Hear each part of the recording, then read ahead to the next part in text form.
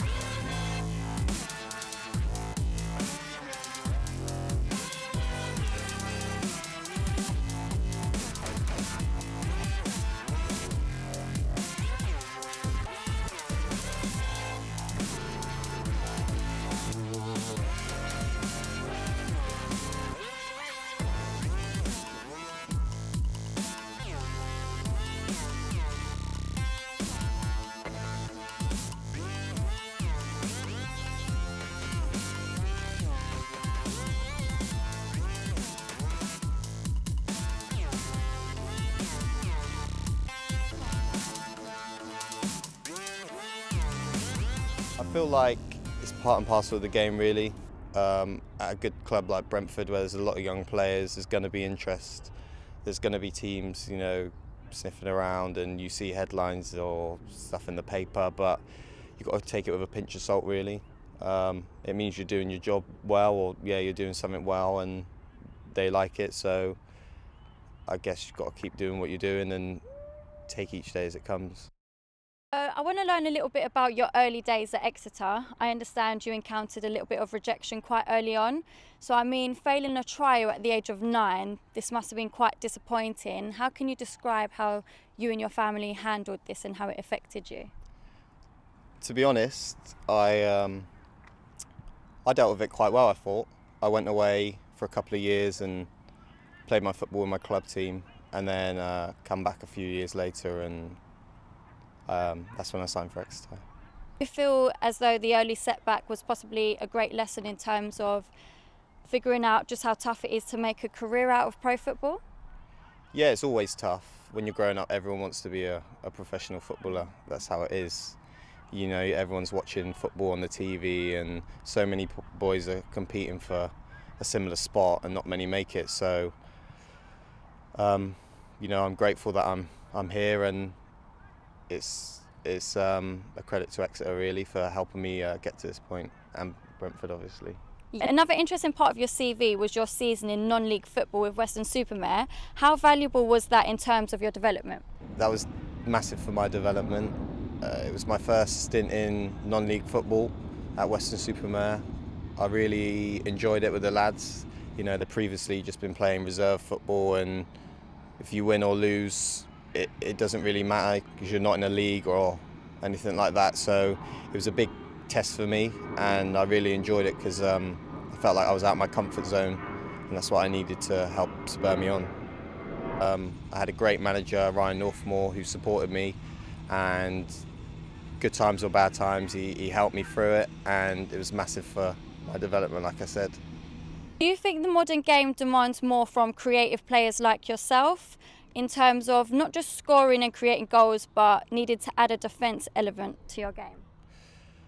Yeah, I feel like the game's changing each year. There's a lot more. Um, there's a lot more sports science brought into it. Um, players are becoming more athletic um, in that demand. So, especially in the Premier League and the and the top level, there's a lot of athletes and powerful players. So, I feel like there's a, a bit of both. You have to you have to be creative and, and sharp up top in your brain, but also um, you've got to have the physical element to help you in things like you said, like the defensive sort of play.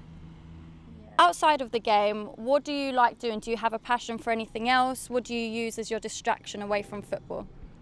Currently taking up golf, just a little um, just a little hobby. We'll see how long that lasts because um, I'm quite an indecisive person. So um, hopefully I stick um, stick with this one and yeah. So returning back to your current club at Brentford, you've punched above your weight in recent seasons. I suppose that's not gone unnoticed when clubs come hunting for your best players and managers. For example, Dean Smith at Villa. Yeah, like I said earlier about interest and stuff like that, it's going to happen. Um, Dean Smith, when he come in for me, um, you know, he he supported me a lot, and I had a really good relationship with him when he was here. Um, I'm delighted for him and Aston Villa getting promoted, and um, yeah, all the best to them really. So, how big a wrench was it leaving the club you've been at since the age of 11? It was definitely a hard decision to, to leave Exeter, but one that in the end I felt was easy to make the transition because I wanted to test myself at a higher level and you couldn't turn down this opportunity to play in the championship. So it was hard to leave my friends, but um, yeah, I'm, I'm glad I've done it. You made the move to Championship Brentford. So, what would you say were the challenges in adapting to both London life and a higher level of football? Firstly, moving to London, living on your own, um, makes you grow up a lot more. You're out of your comfort zone. Um, you have to do things for yourself, and it just makes you open your eyes a, a little bit more, to be honest. Um, and with the football, definitely, you know, there's some big teams in the league, uh, a lot more fans, and no game is easy in the championship. Anyone can beat anyone, so it's definitely um, a big step up from League Two, um, but one that um, I'm enjoying. People liken your style to the play of Thierry Henry. Would you say he was an inspiration growing up, or someone you looked to model your game on? I like to model my game on him, yeah, but um, I wouldn't compare myself to Thierry Henry. That's a that's a big shout. I think um, he's definitely an idol of mine, but um, I wouldn't compare myself to him because um, yeah, he's a another league.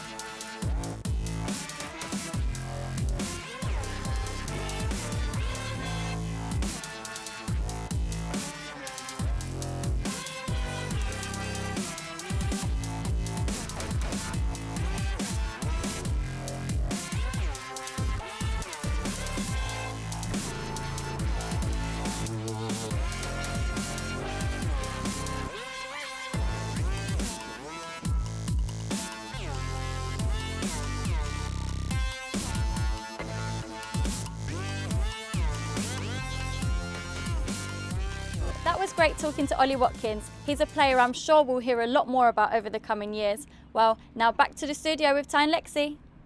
Okay, a huge thank you to all our guests today. We'll leave you with more evidence of the exceptional talent that is Ollie Watkins. Remember the name. Bye for now and see you soon. Not too many clear-cut opportunities in this second half for Brentford. Barbet, good ball through to Watkins. Watkins to Maupay, back to Watkins again. Great shot! Oh, oh what yes. a goal that is! Ollie Watkins beats Butland in the corner of the net. Dances over towards the Brentford fans behind that goal. And what a celebration's going on there. The 66th minute brings Brentford's equaliser. And what a cracking strike that is from Ollie Watkins on the edge of the box. Wowza, that was a howitzer from Ollie Watkins. That was some great interplay. Into Neal Maupay and back out it came and Ollie Watkins right on the edge of the penalty area. It was an instant hit as a Stoke defender came.